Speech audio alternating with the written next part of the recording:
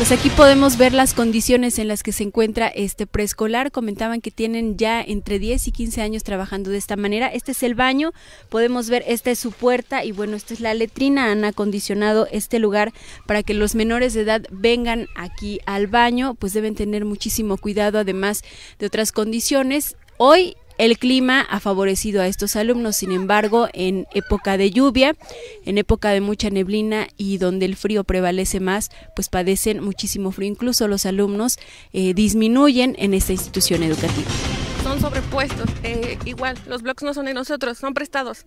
Lo único que tenemos es el terreno, es el que tenemos y de ahí pues igual las sillas no las han dado con AFE y lo demás pues eh, son cosas que han estado, pero pues no tenemos ahora sí que ni libreros ni nada. ¿El baño en qué condiciones se encuentra?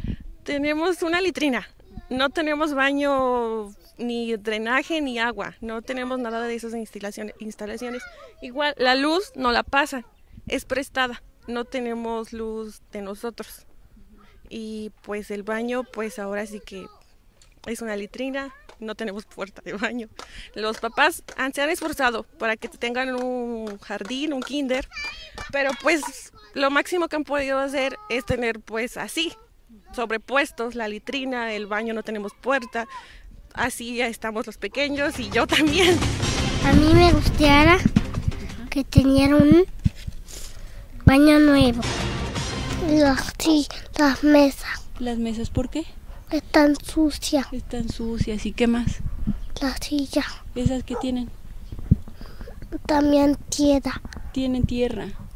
Oye, ¿y barren aquí tu escuela? ¿Y pero aún así que tienen tierra?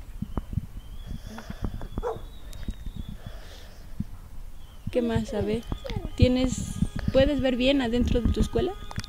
¿Sí? ¿Tienes luz? No. ¿Y qué más? Se fundió.